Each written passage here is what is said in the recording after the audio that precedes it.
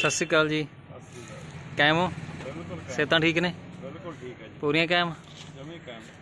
ਮਿੱਤਰੋ ਜਿਹੜੇ ਤੁਸੀਂ ਸ਼ਖਸ ਨੂੰ ਦੇਖ ਰਹੇ ਹੋ ਨਾ ਇਹਨੂੰ ਅਸੀਂ ਬ੍ਰਿਗੇਡੀਅਰ ਕਹਿੰਦੇ ਆ ਅੱਜ ਸਵੇਰੇ ਮੈਂ ਫੋਨ ਕੀਤਾ ਮੈਂ ਬ੍ਰਿਗੇਡੀਅਰ ਸਾਹਿਬ ਐਤਕੀ ਆਪਾਂ ਜਾਣਾ? ਜਾਣਾ ਕਿੱਥੇ ਆ? ਉਹ ਤੁਹਾਨੂੰ ਹਜੇ ਵੀਡੀਓ 'ਚ ਕਾਫੀ ਅੱਗੇ ਜਾ ਕੇ ਦੱਸਾਂਗੇ। ਹੈਰਾਨੀ ਵਾਲੀ ਗੱਲ ਹੋਊਗੀ ਤੁਸੀਂ ਹੈਰਾਨ ਹੋਵੋਗੇ ਵੀ ਕਿੱਥੇ ਜਾਣਾ? ਕਾਦੇ ਬ੍ਰਿਗੇਡੀਅਰ ਨੇ? ਕਿਉਂ ਬ੍ਰਿਗੇਡੀਅਰ ਕਹਿੰਦੇ ਆ? ਤੁਸੀਂ ਆਪਣੇ ਆਪ ਮੰਨੋਗੇ ਵੀ ਯਾਰ ਵਾਕਈ ਇਹ ਬੰਦਾ ਬ੍ਰਿਗੇਡੀਅਰ ਕਹਾਉਣ ਦੇ ਲਾਇਕ ਹੈਗਾ। ਕਹਿੰਦਾ ਯਾਰ ਮੈਂ ਬੁੱਢਾ ਹੋ ਗਿਆ। ਯਾਰ ਮੈਂ ਜਨਰਲ ਸਵੇਗ ਸਿੰਘ ਵੀ ਕਦੇ ਬੁੱਢਾ ਹੋਇਆ। ਬ੍ਰਿਗੇਡੀਅਰ ਵੀ ਕਦੇ ਵੱਡਾ ਹੋਇਆ। ਜੇ ਤੁਸੀਂ ਬੁੱਢੇ ਹੋ ਗਏ ਫਿਰ ਸਿਪਾਹੀ ਤਾਂ ਮਰ ਜਾਣਗੇ। ਕੀ ਖਿਆਲ ਹੈ? ਸਪਾਈਆਂ ਦੀ ਲਾਜ ਰੱਖੋਗੇ ਫਰੀਦਗੀ ਦਾ ਹਾਏ ਹਾਏ ਹਾਏ। ਸਾਡੇ ਬ੍ਰਿਗੇਡੀਅਰ ਸਾਹਿਬ ਨੇ, ਅੱਜ ਬ੍ਰਿਗੇਡੀਅਰ ਸਾਹਿਬ ਨੇ ਘਰੇ ਆਉਣ ਦਾ ਮੌਕਾ ਦਿੱਤਾ, ਘਰੇ ਮਿਲਿਆ, ਬੜਾ ਘੈਂਟ ਲੱਗਿਆ।